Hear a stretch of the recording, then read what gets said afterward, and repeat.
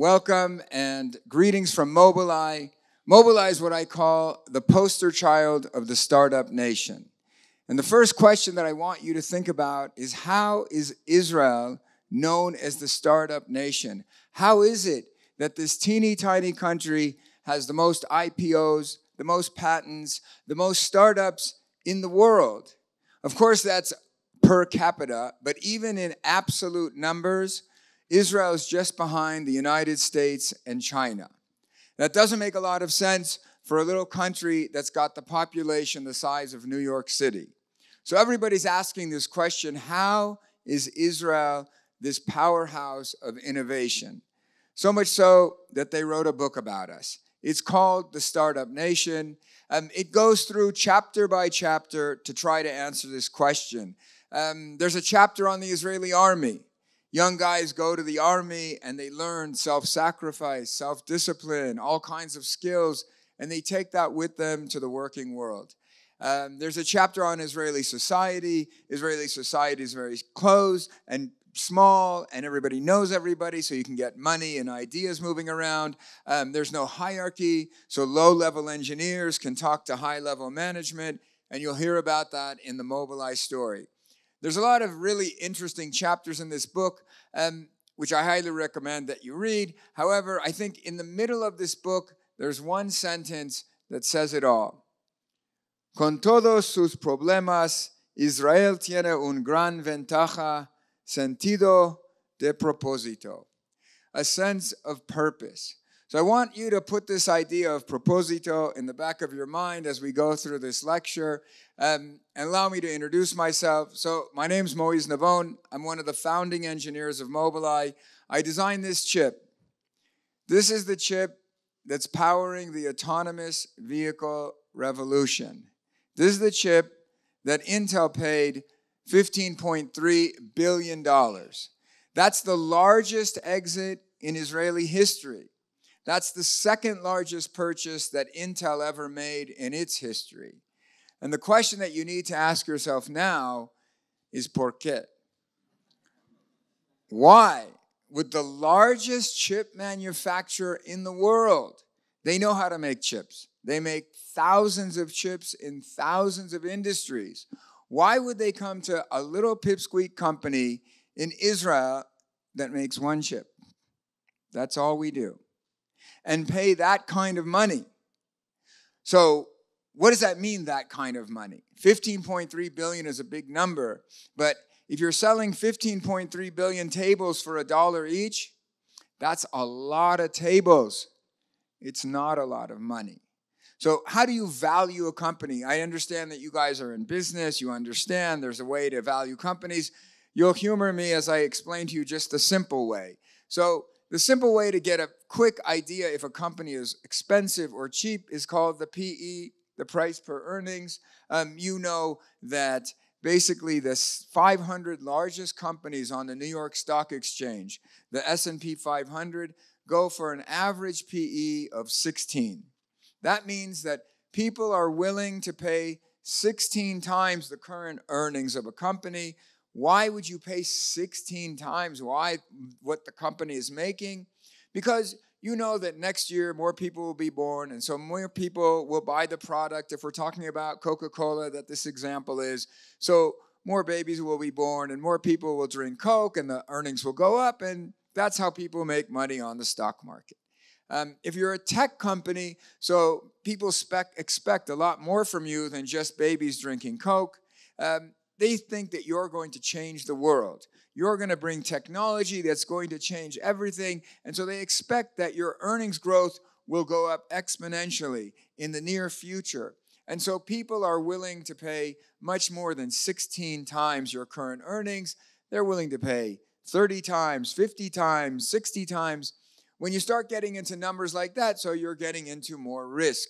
You're saying, I believe that in the near future, this company's earnings are going to go up 50 times.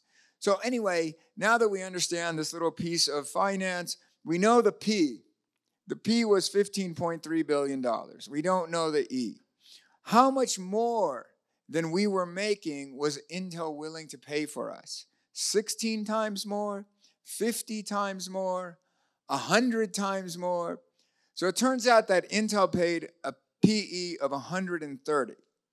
That's a pretty significant premium. But then you guys are business people, so you know people don't really buy companies based on a PE. There's another really good metric which is called future cash flows. How much is this company going to make in the future? What contracts do they have lined up, etc. So Intel knew that the autonomous vehicle market is going to be huge, the future cash flows are going to be huge, and so they're willing to pay a pretty penny for the company that's going to get them to that market. But that's not the why that I'm asking you. The why that I'm asking you is why didn't Intel do it themselves? Why don't they make their own chip to access those future cash flows? Why did they come to Mobileye to do that? So that's basically the question that I want to answer for you in this talk. Um, I want to give the answer in basically in context. The context is that I would like to explain to you how did I get here, and then I will explain to you how did Mobileye get here. And then I will explain to you how the startup nation got here. Because if you listen to my story closely, my story is the Mobileye story. It's the story of the startup nation. So as you can tell, I wasn't born in Israel. Um, I was born in Los Angeles. I grew up what's called a secular Jew. That means I wasn't religious. Um, I had a nice life. I grew up surfing and skateboarding. This is me in the 1980s. Um, I had a good life, but when I was about seven or eight years old, I found out that people die. So I said to myself, what's the point? ¿Cuál es mi propósito? Why are we here? Um, it didn't take me long growing up in Los Angeles to get onto the Greek and Roman answer eat, drink, and be merry, for tomorrow we die. But then I thought about this question a little bit more, and I said, you know, when you're gone, you are so gone that you don't even know you ever existed. So, what's the point of eat, drink, and be merry? So, my parents weren't particularly religious, they weren't existentialist philosophers. Uh, so, I went surfing. I surfed my whole youth. I was on the surf team at UCLA when I was studying computer engineering, and it was there in my second year uh, studying computer engineering that I got a student internship at NASA's Jet Propulsion Laboratory. So you can imagine um, for an engineering student to get an internship at JPL is pretty great. So I was really excited. I remember the first day I got there, um, I met the boss. He explained to me the engineering. He gave me a tour of the campus. I think it's about the size of Antigua. Um, anyway, so that basically took us to lunchtime. We went to the cafeteria and he said, Order whatever you want. So I smelled the hamburgers. I said, I'll have a cheeseburger. So my boss, he made a face. I said, The cheeseburgers here aren't good. I'll get something else. Made another face. So I said, uh, I don't read faces. So if you don't tell me the cheeseburgers aren't good, I'm going to get what I like. I think that was the last cheeseburger I ever ate. Turns out that my boss at JPL was a religious Jew, and in religious Judaism, so it's a big no no to eat milk and meat together. So basically, for the next two years of this student internship, half the day we talked engineering, and half the day we talked Jewish philosophy. Um, in a nutshell, he said, really very simple we believe there's a creator. We believe you have a soul. We believe there's a purpose. Hay creador, hay alma, hay propósito. You're here to fix yourself. You're here to fix the world. So these ideas began to resonate with me. I started trying to think. I said, yeah, I need to do more purposeful things. The problem was that at the time, I was the rush chairman of a fraternity that's me in the circle. You guys know about fraternities? I don't know if you have them in universities here, but they're basically like the movies party, party, party. Um, the Rush chairman is in charge of the parties at the beginning of the year. There are other chairmen that do the parties in the middle of the year. Anyway, we had this big party and we had all these pizzas, and I had this pepperoni pizza in my hand. And I said, Oh, my boss at JPL said we don't eat milk and meat together. So I took the pepperonis off. Um, for those of you who know anything about Jewish law, this doesn't help at all. You can't cook the stuff together. Anyway, it was a good start. Um, to cut to the chase, while I was at Mobileye for 16 years, so six of those years, I went to a yeshiva in Jerusalem. It's called. It's basically a seminary where you learn how to be a rabbi. So I'm also a rabbi, and I'm also an engineer. Um, but to go back to the story, so at the time I was at UCLA, I was going out with a girl who later became my wife. Um, and she was from the same background, and we sort of grew into our Judaism together. And we decided, we said, you know, if we're going to do this Jewish thing, we need to go to the land of the Jews. We need to move to Israel. So I sent my resume to all kinds of American engineering firms that had operations in Israel. I was lucky to get a no thank you letter. Nobody's hiring anybody from 12,000 kilometers away. So my wife said, you know, why don't you go? You'll make a pilot trip. You'll fly there, you'll interview, and then we'll move. I said, ah, that's a lot of money. I have to fly there. I have to take two weeks off of work. I don't think that's going to work. So she said, let's just go. So I said, uh, without a job? And she said, yeah, yeah, people, they do that. I said, I don't know those people. I'm not going without a job. Um, right about that time, so I was working for an engineering company in LA. There was a bunch of Israelis that were on sabbatical leave. They took a year off to go work out of the country. So I made friends with them.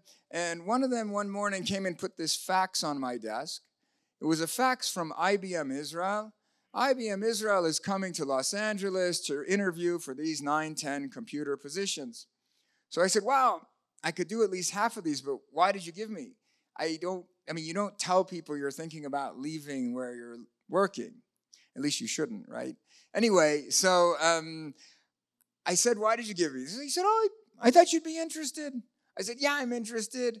So I faxed my resume to IBM Israel. They set up uh, an interview with the CEO of IBM Israel. I met this guy named Yosef Raviv in the Beverly Hills Hilton. Yosef Raviv is one of the founders of the Startup Nation.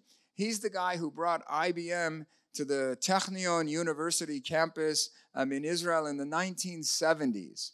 That's before anybody used the word start or up in the same sentence. Uh, anyway, so I met him. It was very nice. He said, Listen, you seem like a nice guy. Your resume looks good, but you need a technical interview. I can't give you a technical interview. But the head of the chip design group is going to be in the San Francisco airport next week. Can you meet him in the San Francisco airport? I said, easier to fly to San Francisco than it is to fly to Israel. So the next week, I met a guy by the name of Aharon Aharon um, in the VIP lounge of the San Francisco airport. Aharon Aharon is also a big name in the startup nation. He was the first CEO of Apple Israel. He was the head of the Israel Innovation Authority. At the time, he was the head of the chip design group at IBM. Anyway, so it sounds very cool, um, but it wasn't. You see, Aharon Aharon was also the head of the computer science department at the Technion University, and his idea of an interview is asking finals questions. So he's asking me end of the year test questions for a course I didn't take. So, to make a long story short, I failed. He said, Thank you very much. I folded up my stuff and I left. When I got to the door of this VIP lounge, I said, Oh my God, you just blew your chance to get to Israel. I can't let this happen. I turned around, I went back to Aharon Aharon. He's still sitting on the couch in this VIP lounge, and I said, Listen, you know what I don't know, but you don't know what I do know. I've been working in this industry for close to 10 years. I've done all kinds of interesting designs. I designed the Star Wars system. You guys know about Star Wars? not the movie.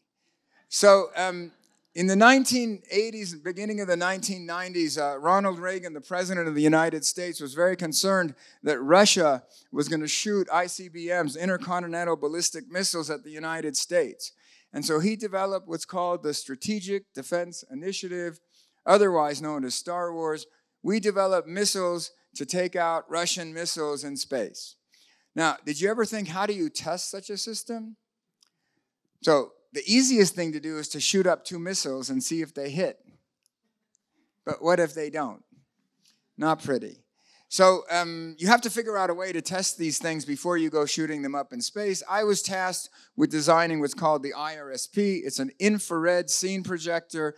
Basically, it's a missile simulator. We make a movie screen of Russian missiles flying by.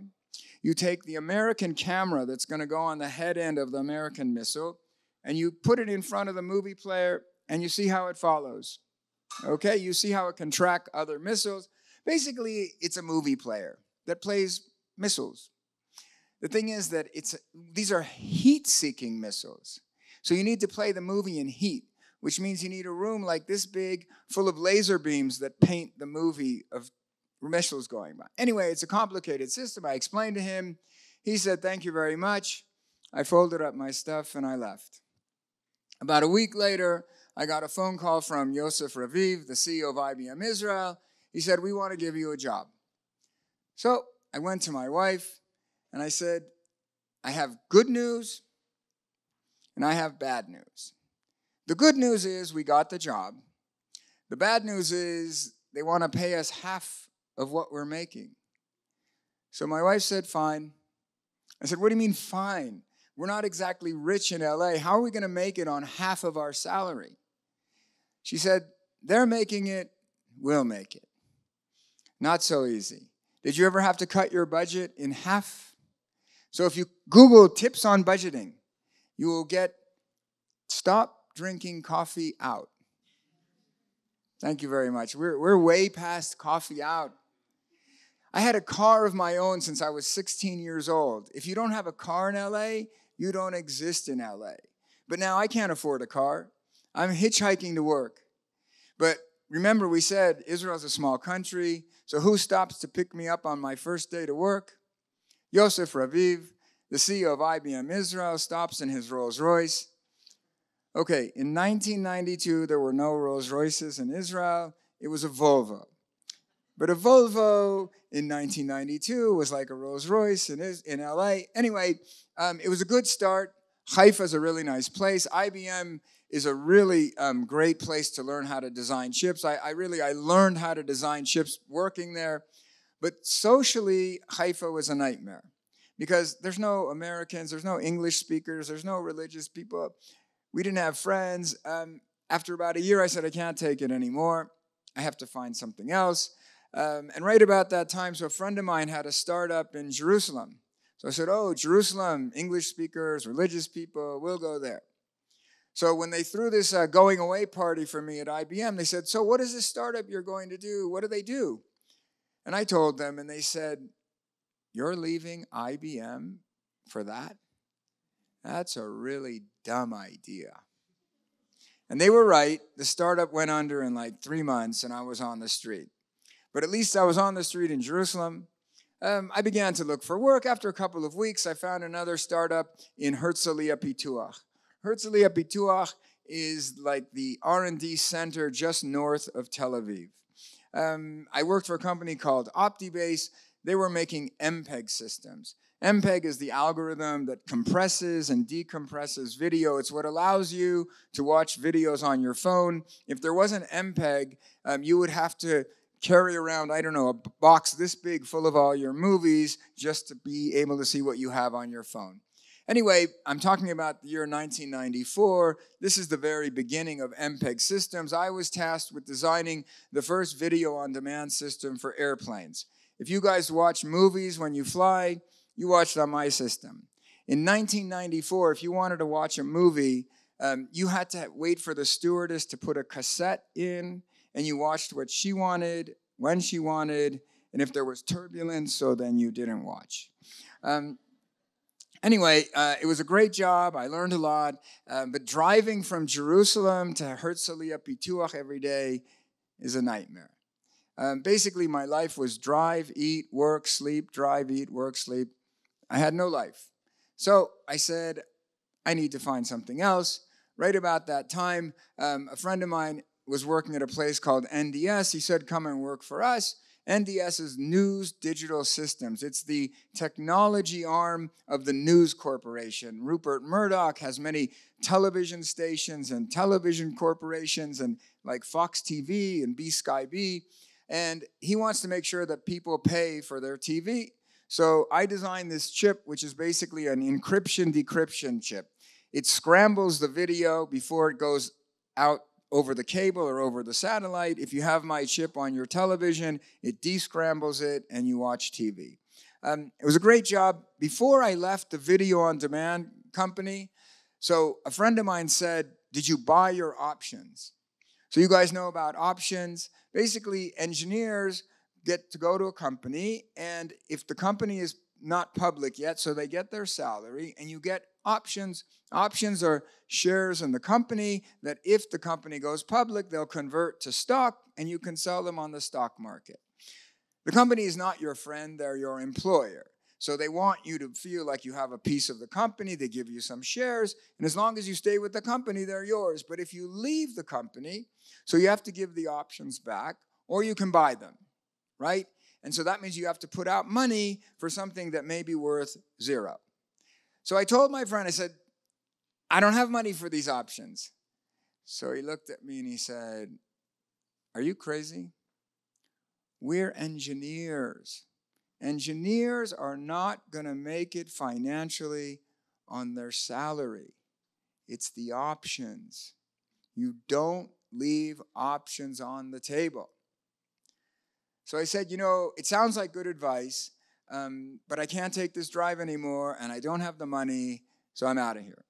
I went to go work for NDS from 1995 to the year 2000. If you guys remember, the year 2000 was the year that everybody figured out that the internet is the next big thing. Um, this is a stock market chart of the NASDAQ during what was called the dot com boom. So from 1980 to 1990 to 1999, the stock market didn't really do much. All of a sudden, it took off. That's the world realizing that the next big thing is the internet. And so basically, every little company space in every little bit of office space all over Israel was another internet company. And that's when I said to myself, this is my chance. I'm going to go put my friend's piece of advice to work. I'm going to go to a startup. I'm going to get some options. And so um, I left NDS and I went to go work for a company called OnePath. They were making fiber to the home systems. Everybody knows what fiber to the home is today. I'm talking about the year 2000. That's when we were just trying to build out the very first fiber to the home systems in the world. Um, they gave me my salary, they gave me my options, and they said, Don't worry, we have funding for one year. But next year, we'll go to the NASDAQ, we'll get more money, and we'll keep developing. But for those of you who know the history of the dot com boom, there was no next year. The dot com boom became the dot com bust. Um, if we talked about PEs in the 16s, 30s, 50s, hundreds, these are PEs in the thousands. And so, even though people don't really use PEs, they actually really do. And so um, the guys on Wall Street said, two guys in a garage are writing a website have a PE of a thousand? That doesn't make sense. And they sold, and everybody sold, and the market was cut in half within a year. Um, this is really interesting for business people, finance people, investment people. This is not interesting to live through. You see, when this happens, economies crash, companies go under, and people are out of work. And that's what happened to me. The company OnePath went under, and I was on the street again. But now, this isn't just being on the street, right? This is now the bottom of my career. I'm on the street, All my engineering friends are on the street. All of the engineering jobs we would have gone to are gone. The little companies have folded, the big companies are streamlining. Now, what do I do? So that's when I had to put into play a little piece of Jewish philosophy. This is a page of the Talmud. The Talmud is a giant encyclopedia of Jewish law and philosophy. There's all kinds of stories. This page has a story about a guy named Rabbi Akiva. Rabbi Akiva was one of the great teachers of Israel. Um, he was very wise, but he also had a very difficult life. But even with his difficult life, he was able to get through all of his troubles because he had one very simple piece of philosophy that's called Gam Zu Letova. Esta es para la bien también. This is also for the best. Gam Zu Letova basically means I don't know what's going on. This bad thing happened, but I'm not going to let it get me stuck. Okay, Rabbi Akiva was not a prophet. He didn't know that some good thing is going to happen from this. He just believed that he's a tiny piece of a puzzle of something much bigger, and he's not going to let difficulties stop him. Gam Tova is about picking up the pieces and keep moving. Um, it's a really great piece of philosophy to talk about. It's not an easy piece of philosophy to live by. You need to teach yourself. You need to start with little things. You're at the beach and you're walking and you stub your toe. Ow, ow, ow. Gamzula tova. And you move on. If you get really good at that, so that when you leave school or work and you come to your car and there's a $200 parking ticket on your windshield, and you look at it and you say, Gamzula tova. And you get in your car and you move on. Um, if you get really good at that, so then when you're out of work and all your friends are out of work and you have five kids, a wife, and a mortgage to take care of, you start sending your resume out. So I began to look for work. It wasn't easy. It took several weeks. Um, finally, I got an offer from a big company in Tel Aviv. And I said, big company, no options. I still didn't give up on my dream to work for a startup and get some options. I'm not going to take it. I kept looking and kept talking to people, telling people I'm looking for a startup. Um, after a couple of weeks, I had an offer from a startup, but they wanted me to design an internet chip. I said, Internet, no more internet for me. So I kept looking, kept talking. Finally, I met some guy and he said, You know, you used to work for a guy at NDS. He's working for a startup in a little house just outside of Jerusalem. So I'd start up. I'm looking for a startup, but what do they do? Internet? He said, No, no, something in automotive. I said, Cars. People need cars. I'll go work for them. So, in case you didn't guess, that little car startup was bought out by Intel for the largest exit in Israeli history. So, Gamzu Litova. You guys learn Hebrew fast. So, anyway, that brings us to the Mobileye story. So, um, Mobileye was started by a guy named Amnon Shashua about a year or so before I got there. Amnon Shashua is the head of the computer science department at Hebrew University.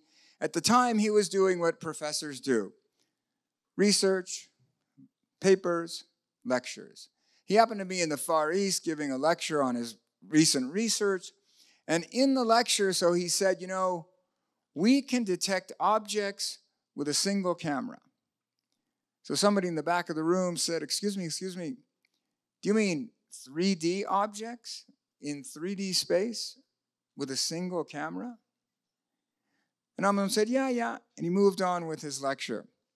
When he came off the stage, he was surrounded by a team of engineers from Toyota. And they said, Are you kidding? We've been working on this problem for years. And we've been working under the paradigm two eyes, two cameras. You can't see depth with one eye. If you close one eye, everything goes flat, but not really. So, do you need two eyes or you don't need two eyes? So, this piece of physiology became apparent to me a few years ago. I was at the Boston Science Museum, um, and they had this display a glass box, like an aquarium without fish. Inside the box are objects that you see every day. I don't know, a cup, a pencil, a yo yo, everyday stuff, and you're like, why is this in the museum? So you go around to the side of this box, and there's a black plate with a little peephole like you have on your door. You look through the peephole, and you see those objects flat like a poster, no depth. What happened? So the answer is context. When I close one eye and I look at you, so I know what people look like, I know what chairs look like, I know what rooms look like. So when I close my eyes, I can guess. And between what I know, people, chairs, rooms, and what I don't know, the exact distance, my brain can make a really good guess. And at the end of the day, you only need one eye. So why do we have two eyes? Because for anything closer than arm's length, you can't guess. If I have to guess where this is, I can't do it. You have to have two eyes for close. But anything over a car bumper, you can guess really well. So Amnon said, what we do in our brain, we can do in our computers. The engineers at Toyota said, we don't believe you, but here's $100,000, prove it. So Amnon took the money, came back to Jerusalem. He got a couple of PhD students, he got a couple of engineering helpers, he got a box load of computers, put them in the back of a van, hooked them up to a camera looking out the front windshield, and he proved it. You can detect 3D objects in 3D space with a single camera. That's huge. That is the novelty that basically founded Mobileye. Um, no one thought it could be done. There are many business implications to this. Not only that you don't need two cameras, if you have two cameras and one of them gets bumped, your system doesn't work.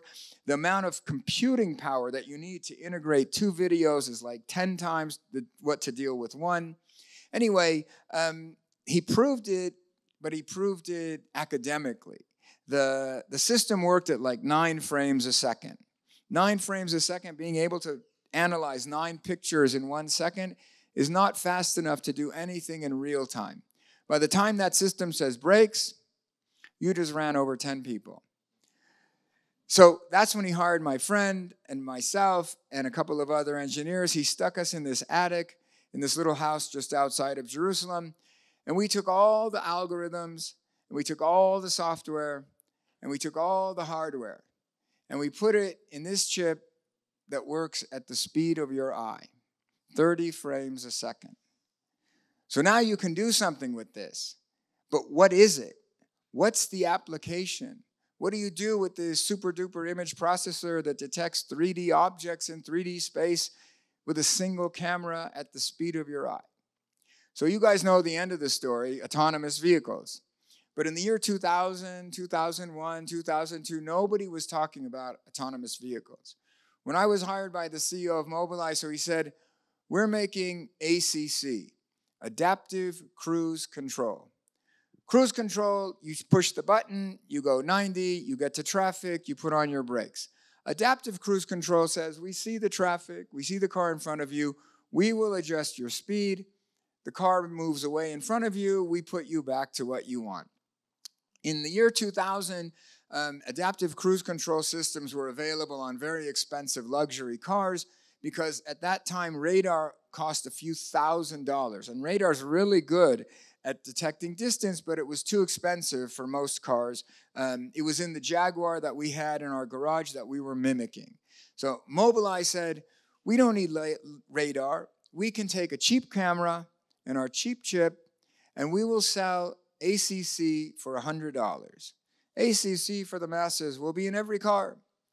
So um, that's what Mobileye was founded to do. The CEO gave me my salary, or I should say, he cut my salary. This is a startup. Um, he gave me my options, and he said, Don't worry, we're going to have an exit in two years. Now, either he was naive, or I was naive, or the both of us were, but it takes a year at least to design the logic inside this chip. It takes a year to synthesize it, a year to put it in silicon, a year to test the silicon, a year to go in a car. You're looking at five to six years before you're putting on the brakes of a commercial vehicle. But we didn't know that. So off to work we went, and one year became two, two became three, three became four. And then the CEO came to us and said, Quedamos sin dinero We need to sell this chip today. We can't wait to be in cars. We need some other application. What can we do with this thing? So we all began to brainstorm what can we do, what application. At the end of the day, we came up with this idea called the aftermarket product. Basically, it's a box that sits on your front windshield. There's a camera here looking out. My chip is inside the box. It analyzes the scene, sends the signals over a cable to your front, to a display on your dashboard, and basically 2.5 means you have 2.5 seconds before you crash into the car in front of you. It tells you the amount of time you have to react. Um, if you get too close, it beeps you. If you leave your lane without signaling, it beeps you. It's a warning system. Mobileye is not interested in this at all. We don't advertise, we don't do any marketing, any sales. We hired a couple guys on commission. We just need a little bit of money so that we can get into cars. But there are other companies that are very interested in this system. Insurance companies want to know if it's they can stop accidents and they can pay out less. Safety companies working for the government want to know if they can reduce accidents in the country. So all of these companies started analyzing if our system was helping drivers. And I'll never forget the night when the CEO told us the results of all these tests. Um, this is the CEO, Ziv Aviram, um, who took the company public with Amnon Shashua. Uh, you know how companies work? They want to make you feel like a family. So they have a company dinner every year. They invite you. Um, if they have money, they invite your spouse. If not, so not. Um, they give you some nice food. They give you some nice entertainment. And then the CEO, he gets up and he gives his CEO speech. You know how the CEO speech goes? I will tell you. We're doing well. Work harder. We'll do better. It usually takes CEOs 20 to 30 minutes to say these three sentences. Um, in any case, uh, this particular evening, the CEO, he, he didn't have his CEO face on. He didn't have his CEO speech on. He was really serious and he looked out at everybody and he said, You know what, guys? We're saving lives. Never said, What? What do you mean saving lives? ACC for the masses, a luxury toy. So it turns out that all of these tests that were being done with people driving with our systems showed that people driving with our system were not getting into accidents. And if they did get into an accident, it turned what would have been a fatal crash into a fender bender. And so all of a sudden, Mobileye changed directions, and we stopped being a toy company and we started being a safety company. And we realized that, you know, if we can beat people um, to stop because they're going to crash, we can put on the brakes and we'll call it AEB, automatic emergency braking. And if we can beat people because they're leaving their lane when they don't want to, we'll call it LKA, lane keeping assist. And all of a sudden, there's a whole group of applications that falls under this industry called ADAS, Advanced Driving Assistance Systems. And advanced driving assistance systems basically means any computer help to make the car drive safer, better. Um, and their governments are giving safety points for any car that has any one of these features. And insurance companies are giving discounts for any car that has any one of these features. And there's only one company in the entire world that has all the ADAS features in one chip. And so Mobileye today owns 70% of the worldwide um, market. We're in over 170 million cars around the world. Um, and that brings us to the second pivot. So a couple of the engineers were working on the system and they said, you know, we're controlling the brakes, we're controlling the gas, we're controlling the steering, we're controlling the car. Let's make an autonomous vehicle. So they took their story upstairs to the CEO. They said they told him what they wanted to do. I can tell you if this was in LA or anywhere else, so the CEO would have said, "We have no customers for autonomous vehicles. Go back to work." But this isn't just anywhere, this is the startup nation. And so the CEO said, "You know, that's an interesting research project. Take this Audi and go play in the garage. So these two engineers got a couple of helpers. They took three of these chips, put them on a board, connected them to eight cameras surrounding the car. And within a year, they had the world's, world's first camera only autonomous vehicle. So I say camera only because you guys know that Google has been working on this. Many other car companies have been working on autonomous vehicles before us, but they're all working using a system called LiDAR. LiDAR is that big spinning imaging system that's on the top of the Google cars. Um, it's really good at making 360 degree images, but it's really expensive, especially at the time when they were first working on it. It cost just for the sensor $100,000. Mobileye was able to get this car to drive from Jerusalem to the Dead Sea hands free for $2,000. So that's commercially viable. Um, of course, there's a lot more development to make it safe, etc. But at the end of the day, we built a cheap platform to drive a car by itself. But we still have no customers for autonomous vehicles. But we do have ADAS customers. So Tesla came and said, What's that? We want it. And Audi and Nissan and VW and just about every car company that you can think of said, We want it. Every car company but Toyota. So if you remember Toyota, they gave us the first money, but then they said, Oh, you proved it. Bye bye. We're Japanese. We work with the Japanese. They went to NEC. NEC is like the Intel of Japan.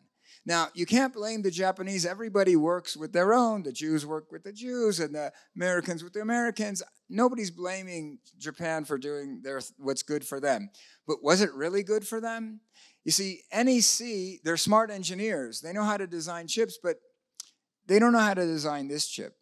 You see, we had been working on this already for 10 years. Um, I never forget at every company dinner, the CEO would also tell us that we are the largest group on the face of the earth working on this one pro- problem. It didn't matter when we were 10 people or 110 people. There was no other company that had algorithms people, software people, and hardware people all under the same roof working on one problem how to des- detect 3D objects in 3D space with a single camera. So I'll never forget the day they told us that Toyota drove their car off the lot with the NEC chip. It burned up the minute they left the parking lot. What happened? So, to understand what happened, I have to give you a little lesson in computer engineering. So, this is the architecture of a basic computer chip. It has memory, that's where you have your movies. It has a player, a, a, control logic that plays your movies. It has a math unit that does the compression and decompression. It has a screen, it has a um, keyboard input. That's a computer. You can describe just about any computer using this, what's called von Neumann basic structure. Okay? That's not what we did in this chip. Okay, so now to understand the difference, um, so one of the blocks that I was responsible for designing is called the tracker. The tracker has to follow the car around the road. It tracks cars frame by frame, image by image. Now, a person does this visually. You look at the car, you see the car, and you keep your distance. But there are no pictures inside chips. There are pixels, dots of picture, dots of color that make up the picture. But color is very computation intensive. It takes a lot of computers to deal with. So we use black and white. Black and white's much easier, but then again, there's no black and white inside computers. There are numbers. Okay, if you have um, what's called eight bits, you can describe 256 numbers. So now we say white is zero, black is 255, all the grays in between are all the numbers in between. Okay? So now we can describe this Ferrari going around the, the, the mountain with math, with numbers. We convert the visual problem into a math problem. So, how do I make sure that this frame and this frame have the same car? I need to compare the two images. What I do is I take the pixel number one from this image and pixel number one from the other image, and I subtract them. If they're the same, so I get zero. I go to the next pixel and I subtract them, I add the number, I go through all the pixels in the image. At the end, I get one number. If it's zero, the images are identical. If it's 10, I'm probably still okay. If it's a big number, I lost the car. Okay? So now, how do you do that in a standard computer? So if I'm, let's say I'm the control unit, okay? So it's a little hard with one and a half hands, but let's try. So I say, Mr. Memory number one, give me pixel number one. Mr. Memory number two, give me pixel number one. Mr. Math unit, subtract. Mr. Memory number one, give me pixel number two. Pick one, get the idea. Subtract, add, subtract. If you do this for thousands of pixels at 30 frames a second, you're going to start sweating. If you're a chip, you're going to burn up. So you need to figure out how to do this more efficiently. So I didn't use a general processor. I designed a block just to compare two images. I bring a row of pixels, not one at a time, and a row of pixels. And here I have a row of subtractors and an adder. And while I just did that math, I already got the other pixels. I'm working super fast, super efficiently in what's called pipeline fashion. And that's why this chip can work sitting on your windshield in the summertime, in the desert, without a fan and not burn up. And so that's why um, in 2008, we got the award for the best electronic design in the automotive industry. And that's probably why, or at least one of the reasons why Intel came to us. So in 2014, we, we declared a partnership. These are the CEOs of Intel, BMW, and Mobileye we said we are going to bring an autonomous vehicle commercially available. And Mobileye was really happy because this is our first big contract. But Intel is not happy because Intel said, Who are our partners here? Well, there's BMW. What do they do? The metal and the rubber? We can't do that. And who are these people? Mobileye? What do they do? They make a chip we make chips. As a matter of fact, the whole board controlling the car is Intel. All the chips on the board, Intel. There's only one chip in the system that's not Intel. What do you think they want to do to us? They want to get rid of us. Every day they came to Mobileye, they said, Oh, how does this work? And oh, how does this interface work? And basically, they tried to figure out what we're doing so that they could do it. But then something amazing happened and the CEO of Intel came to Jerusalem. He gathered all the employees in the Jerusalem theater, and he said, and I quote, We've been watching you for months, and we decided it's better to buy you than to beat you. And so that was the exit. Um, like I said, it was the largest exit in Israeli history. It was so many dollars that came into the country that it, it changed the exchange rate between dollars and shekels. Um, but it wasn't just about the money. Um, what happened was what I call a paradigm shift, a change in the way the world looks at Israel. The CEO of Intel, when he announced the buyout, he got on international television and he said, You know, Intel is just as much an Israeli company as it is a American company. But why would you say that? First of all, it's not true. Intel is an American company that has a lot of operations in Israel. It's not an Israeli company. But even if it was true, do you know that Mobileye never declared itself an Israeli company? We are incorporated in the Netherlands and we have an R&D facility in Jerusalem. People don't want to do business with Israel. It's not good for business, so why declare it?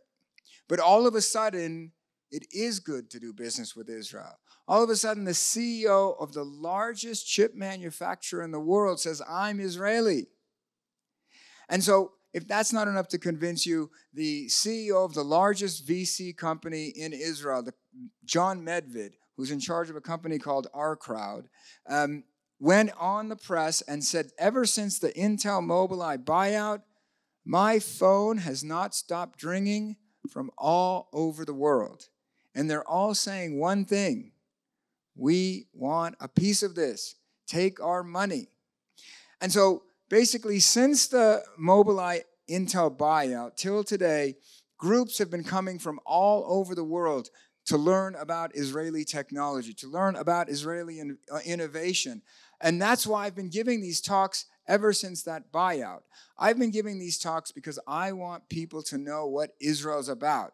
I want people to know that we have a proposito. Our purpose is to make the world a better place. As I said, we're supposed to fix ourselves, we're supposed to fix the world. That is the proposito of Israel, of the Jewish people. We have been trying to do that throughout history, and that is what Israel as a nation today is doing. We are the purveyors of science and technology, medicine and industry in the world. And so that's what I want people to know. I also want people to know that technology, as great as it is, also needs to be framed by ethics. And that's why I teach a course on ethics in artificial intelligence to engineers at Ben Gurion University. Um, but at the end of the day, that's what we want to do. We want to make the world a better place. Most people understand that. Some people are trying to stop us, but we will not be stopped we will continue to try to help the world be a better place. I've given this talk to just about any group that will listen. I've given this talk to UN delegates. I've given this talk to United States senators, to Chile senators, to politicians from Spain, from just about every country you can think of. I've given it to MBA programs from everywhere from Hong Kong to London to the United States to all of Latin America. I just came back on a trip from Colombia, Panama, and Peru. Um, I'm trying to get this message across because I want people to understand that we are about innovation, we are about technology, we are about making the world a better place. A few years ago, a group of really wealthy Chinese investors came to Israel. They're the guys who built the Shanghai Towers. Look them up. They're called the Sinochem Corporation. They came with their CEO and their top 20 executives to Israel on a two week fact finding mission. What is the secret of the Jews? They went from company to company all around the country. And then they got to me. I told them exactly the same story I just told you. But they don't want to hear that. They don't want to know about rabbis, cheeseburgers, surfing. What? They want to know what makes a Mobileye. So I said, Look, you want to know what makes a Mobileye? Fine. The CEO at his last company dinner said, Everyone's asking me this question, so I'll tell you.